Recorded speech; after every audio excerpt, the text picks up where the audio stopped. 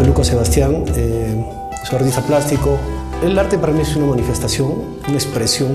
Trato de exteriorizar ¿no? todas mis, vivencias, el día a día, el cotidiano. Trato de plasmar en mis lienzos, en las acuarelas. Para una expresión se hizo una serie de 12 trabajos inspirados en una flor muy milenaria que es eh, el texado.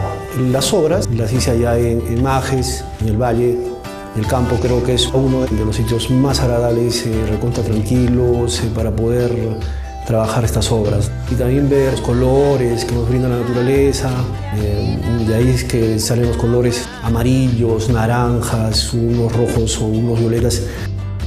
En realidad me quedo sorprendido a ver mis obras eh, plasmadas en las estolas. Me pareció excelente. Cómo se puede trabajar en la fibra de alpaca, en la fibra en sí.